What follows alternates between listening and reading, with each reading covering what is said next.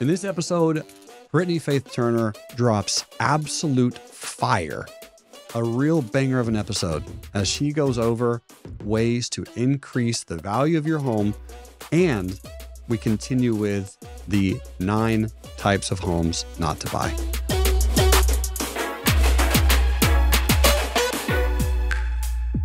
Right, Britnie, we're back. And we're back. We're still doing it. We are cliffhanging pros.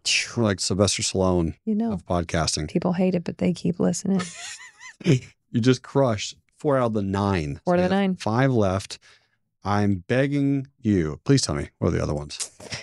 The nine types of houses Number five, Okay. we've got uh, don't ever buy a two bedroom, one bath. Ever. Don't do it. What? Don't do it. Hold on. People don't want it.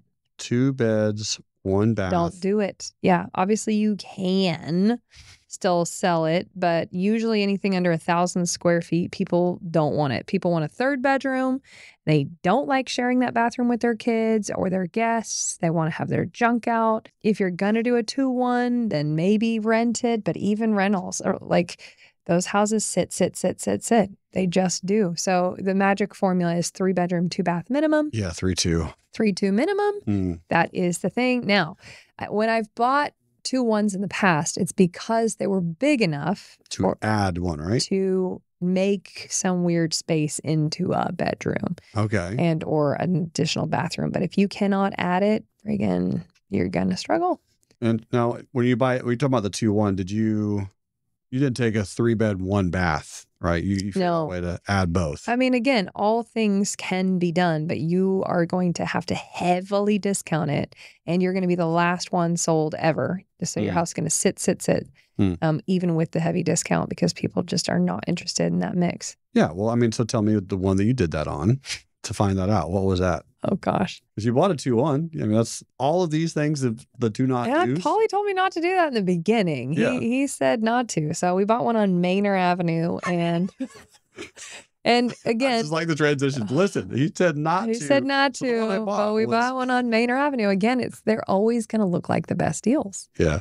So it's forty eight thousand dollars, and it was a two one, and it, it had some weird second living room, and we were able to convert it, but we had to end up knocking down like five walls just to try to fit a master bath in there, and then the rest of the bedrooms and the living room all shared that second bath. So that was hard because mm-hmm. it ended up when we ran our numbers, we just didn't account for how many walls we're going to have to knock down to steal some space from this room and add this Sure. one to then do the plumbing. And it just ended up more expensive. But Right. we did it. It was possible. And I still have never bought one I couldn't convert because I just know better. I have been trained better.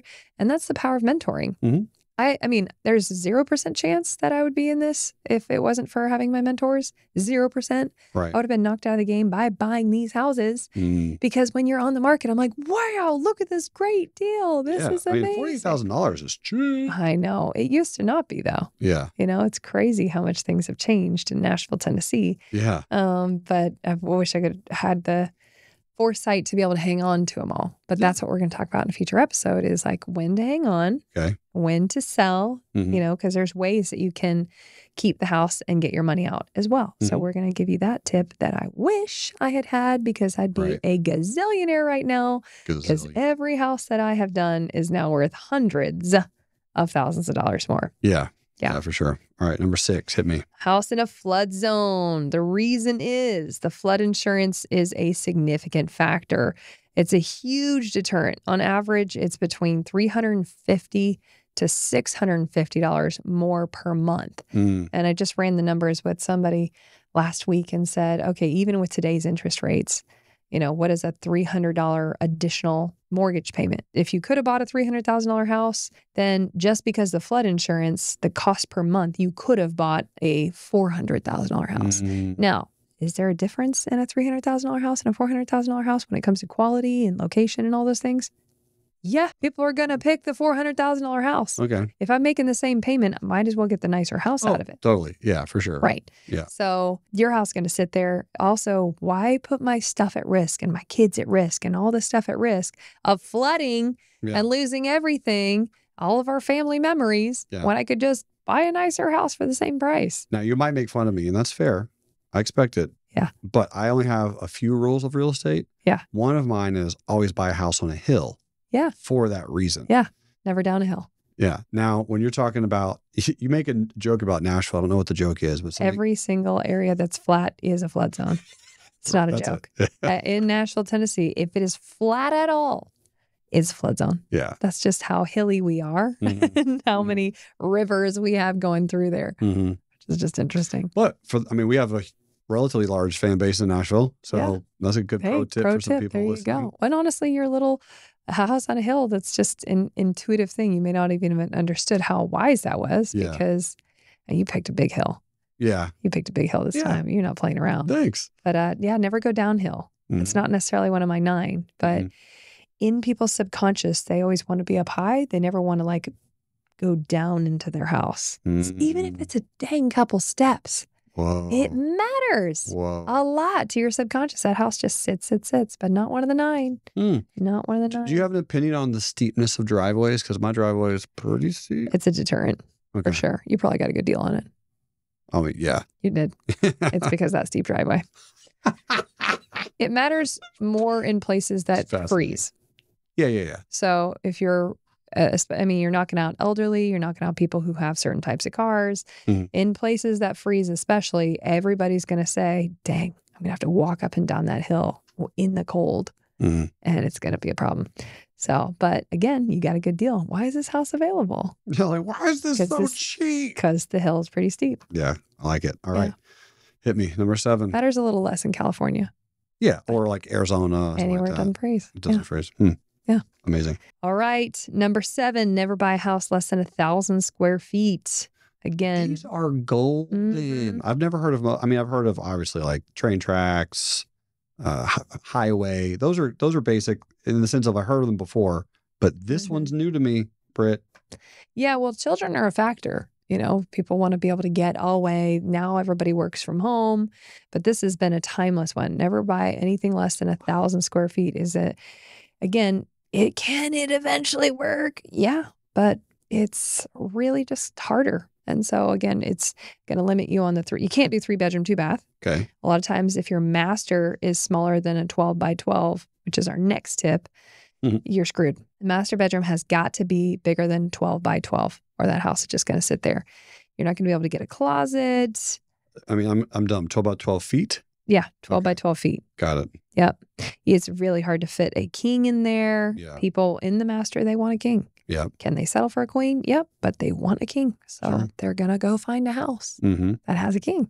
These are golden tips. You know. now with the now I know we're talking about flipping, but on number seven, don't buy a house less than a thousand square feet. Yeah. If it's a rental, hmm or, or let me rephrase, maybe a short term rental, Airbnb, something that's quirky, kinky, and fun. But that that'd be okay though, right? Maybe. Mm-hmm. That's different. Again, Okay. we're in the flipping Yep, market right now. totally. If you are trying to flip a house, Got it.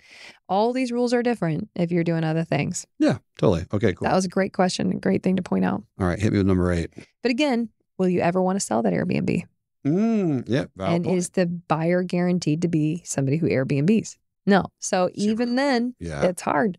My little PSTP is still almost 1,300 square feet. And I added a bedroom Wow. off the back. Okay. So I made it even bigger. I made it a 3 2. sure. Smart. You know, Thank you. I'm full of it. All right, next one a house that doesn't have any comparables, which means it's a weird house. Uh, It's a funky shape. It's like the only mansion in the whole region. oh. You know, it's like you cannot have this one off because it's going to be really hard to sell. People who buy mansions normally would be by other people that have mansions. hmm You know, I know, I know you're a mansion owner, which we're going to talk about. But are you surrounded by other mansions? Yeah. Yeah. If you're the only mansion surrounded by trailers, would that have been a deterrent? Yeah. Yeah, Yeah. absolutely. Of course. So if it's some weird house, like the only A frame or the Mm. only dome, Oh yeah. they're funky. They're cool Airbnbs, but they are going to sit there on the market. They're harder to sell. Mm, Yeah. the comps. hmm Now the reason that Britnie throws out, throws out the mansion thing, you know, it's kind of funny, but I'll tell you guys the story. So at Abundance, I'm here talking about limiting beliefs, and I Mhm. shared one of my limiting beliefs. It wasn't a limiting belief specifically; it was just something I was unaware that was a limiting belief. But essentially, I had a friend tell me that I lived at a mansion. And I kind of brushed it off. I was like, ha ha ha, pretty funny. Told my wife this joke that this guy told me, and she's like, well, yeah, babe, we do live in a mansion. And I, I said to her, we do? I mean, because in my mind, a mansion, like the definition of a mansion was like the White House, right? Tons of bedrooms everywhere, the big white pillars, the long driveway, the, the circle driveway with the fountain Yeah, the fountain. Right? Like the Buckingham Palace. Like that's what I thought a mansion was in my mind. And I Google it, and turns out there's a definition for mansion. A mansion is, and I know you know this, but for the ones who are listening, a mansion is any home that has five bedrooms or more and or 5,000 or more square feet. And I just kind of laughed and I was like, wow, I live in a mansion. Take the time to define things. This is so you live in a mansion. Yeah. You do. Your house is massive. My goodness. Thanks. Yeah. It's It- beautiful too. it's super cool. But it, then Polly was like, I live in a mansion. I live in a mansion. I was like, I live in a mansion. We live in mansions. it was like So about mansion. It was. It was just a cool, like little. Love that. you know, little thing. But anyway, thanks for the shout out. Um, all right. And so no weird houses, no funky shapes. Yep. Got it. So last but not least. that was it. That was that it. was nine. Oh, okay. I was all nine. Got it. Yeah. I only wrote down eight. So I missed one somewhere. I have to go back. Bedroom, 12 by 12. Oh, that was it. Yeah. Oh, okay. Got it. Got it. Got it. Got it. Got That it. was the next one. So no, do not buy a house that does not have a 12 by 12 master A bedroom. minimum of 12 by 12. Whoa. Ideally bigger than that. But Because they want a king. you can't fit a king in. You can, but there's like four inches on each side. Yeah. So it's just a nightmare. Yeah. That is a re- those are an amazing list of tips. That's going to be extremely helpful for anyone who is flipping a house. You Yeah. still think people should flip houses in this market right now Of course. if the numbers work, right? There's always deals. Mm-hmm. There's always deals, and real estate is always hard. So it's either hard because the market is tanking and there's a million houses on the market and and your house is going to sit there too and it's just taking longer to sell, but there's a million contractors available and nobody has work. It's just uh or it's hard because you can't find any deals and everybody's houses are flying off the market. They want too much for it and there's no contractors available. So it just pendulum swings Yeah. from difficulty to difficulty And both of those things happened in the last two years. Yeah. The ones you just mentioned. Yeah. And it's it's just different. You know, I used to be able to find like a million people to bid on one house. Now it's just hard to find anybody to bid on anything. And so, but again, it'll come back. Hmm. Um, it'll come back that way. It'll come back that way. But you just have to be really good. You have to know your numbers. You have to find a mentor or you can lose a lot. I'm not telling you it's the only way, but I'm telling you that is a a much safer way. And to, hear the stories I've heard and to watch incredible people who have great hearts get knocked right out of the game and lose everything and their family's money or their friends' money or their grandma's money, Yeah. believing they got a good deal when they did not and they didn't know how to handle the the contractors. They got walked all over. Yeah. It's just it is not for the weak, but it can be done Mhm. and you will learn. Mhm. And uh, you can save a lot of pain by having a mentor. I feel like, and this is just my opinion, tell me if I'm wrong or right. The one thing that is probably the most difficult or the one that's going to really get you is probably the whole contracting piece, God, right? Working with the piece. contractors, knowing the knowing those rehab budgets. You Yeah. mentioned not getting walked on because I'm a soft guy. I'll just roll over. I'll just get walked right on top. Well, I'm just a woman too. And Yeah. they're going to assume it. Not to say that in a demeaning way, ladies, but it's going to be harder for you because they haven't seen a lot of people who look like us Mhm, crush it in this field or Mhm. even try in this field. mhm. But you're a softie, huh? Oh yeah. How'd that go? Yeah, I, I just get walked right over. Svet's amazing at it. She'll go Yeah. in there and tell them what to do. Gosh, she's an eight. Paint the tub. She loves paint. She paints everything. her her solution to any flip is like, oh, just paint it. Paint it. Yeah, A we've lot of money in painting. Yeah, we've painted all the things. But I feel like the contracting is probably the the most important piece to nail. Would you agree? Or Uh, buying it right is number one most important thing always. yeah, that one for sure. Um, because that's the thing you can't change. Right. And then after that, it's learning how to manage that contractor. Absolutely. So I've made my own contracts. They are rock solid, airtight, all sponsored by pain. They are both sided. They're on the contractor side and my side. Mhm. And it's just all about how do we have a dummy proof, super clear agreement so that we can remain working together in peace.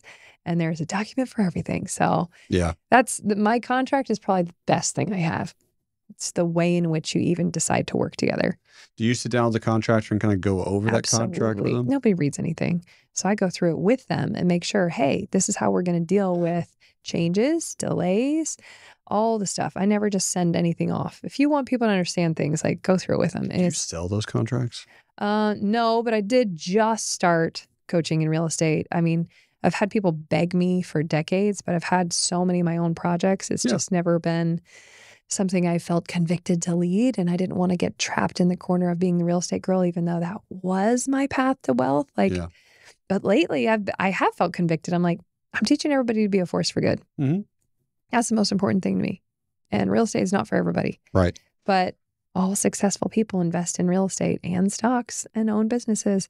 Who am I to block these decades of Yeah. information and pain that I know so much about Yeah. from people? So I just opened that up literally like in the last couple weeks that I am now coaching uh, real estate, but it's Yeah. it's only been people who have come through the island that I've even told about it. So Yeah. Thanks for asking. Yeah. I mean, well, either Yeah. way, I think that that's um, a very valuable piece of information, something that's going to be extremely helpful. It's scalable. Yeah. Right. I mean, I'm all about extra streams of income. Well, one tip can make or save you $100,000. So, Britt, question. We have the list, it's gold. You're talking about one tip can save $100,000. But I feel like you got some more tips Mm. to hit me with. When you're doing these flips, what are something, maybe items or I don't know, other bonus things that you could add to a home that probably don't cost any extra money or a lot of extra money? We talked about decks, strong deck game. Strong deck game. What else can people do in their 100% home that doesn't really cost that much? Oh man, I've got a list. Okay. Well, everybody knows that the kitchens and the bathrooms are Yeah. like those are those are not like these Yeah. fresh ideas I'm about to give you, but it's important, guys, if you didn't know to invest the money in the kitchens and the bathrooms mm-hmm. because that's what people say yes to. Yeah. But this is what people definitely double say yes to. Okay. This is the difference between your house moving fast, your house sitting there on the market, people falling in love, people paying what you're asking. I think the best way to explain it is to give them this like dream life that they have a bunch of people, their friends coming over to enjoy and play games at their house. Yeah.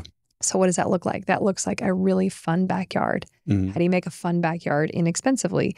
You get those restaurant lights. They're $60 from Costco, one box, and you hang them up, and people gravitate to those Mm. like a moth to a flame. They're Mhm. like, wow, it's a play area.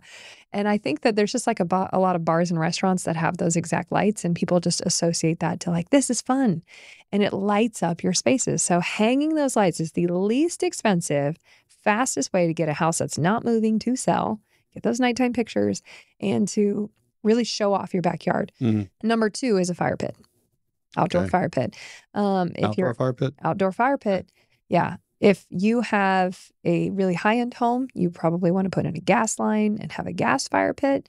If not, go to Walmart, Lowe's, Home Depot, get on Amazon and get one of those little wood burning fire pits. People love it. Hmm. And then before you sell the house, have a stack of wood ready to go at the house. And your pictures, you've got to have pictures of that thing, lights on at night, wood burning, cute couches. It's a big deal, this little dream backyard people have. Uh, we talked about 100% return on your deck game in the neighborhoods that have any kind of view and or if you're towing the line with a war zone i love rooftop decks Mm. because uh, it's your dream outdoors but in a safe spot because Mhm. nobody can shoot you down shoot, shoot you up there Mhm. i love the rooftop decks I think all your houses have those. yeah. Uh, you know, I got the idea from Charleston. Um, we had really Okay. tight building guidelines in Nashville Yeah. on, you know, width, depth, all those things. And so it was really hard to get these awesome decks that Mhm. we talked about. And so I would study historic houses that were cute. So I wasn't stuck with those tall, skinny, ugly things that people were building.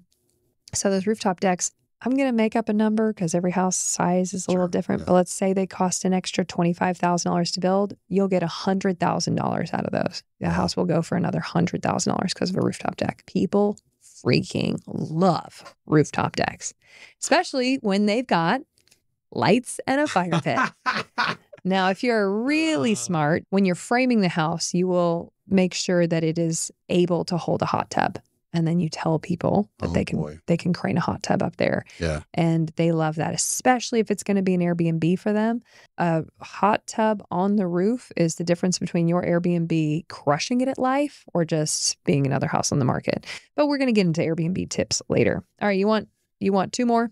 Yeah, I do. Two more. Two more people. All right. So, number one is adding a DADU, which is a, an acronym for Detached Accessory Dwelling Unit. Ooh. Anytime you can add more space, those things cost like 10 grand to bring in. You can buy these. There's so many cool options online of Okay. pre built units. And if you can make it a bedroom, that's huge. Now, if you can make it an office, that's huge. If it's extra storage, a recording studio, depending on your market, I've got both. I've got an extra bedroom and a recording studio on uh, one of my houses. 20 grand made the house worth another 150,000 Wild. which is awesome. And I've had this tested by several of my students, and they're like, it was the difference between me selling my house and not because they bought a 2 1. Uh, So, all right, last one. Pro tip of of a lifetime is call it a bedroom. Anytime you can make something qualify as a bedroom, it's the smartest thing you can do. I made the game room in my new house I'm building in Nashville. Mhm. Just have a little closet in it. Mhm. Just added a closet. It's got the right window size and you can leave it. Got a Murphy bed in there. It's still the game room, but baguette, you can call it a bedroom. Even Yeah. with this little dinky closet we use to hold games, it's a bedroom. mm, and so if the next buyer wants to say it's a six bedroom, sure. five bathroom house, five and a half bathroom Sure. house, or whatever, they can. Is that the requirement for a bedroom? Is the closet? It's got to have a closet and No it needs to have, yeah, you cannot legally call it a bedroom Sure. if it doesn't have a closet and if you can't get out the window through your body for fire reasons. If your body can't get out, if it's, the window's too small or if it Ah. has no windows, you cannot call it a bedroom.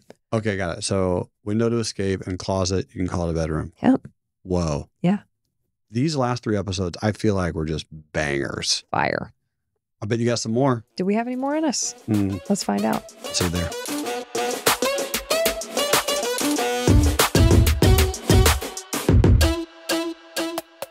We've got lots of requests for coaching. If you want to be coached by myself or J Money Newsome in real estate, in stocks, in how to live fulfilling, abundant, purpose filled lives, go to broketowoke.com and click sign me up.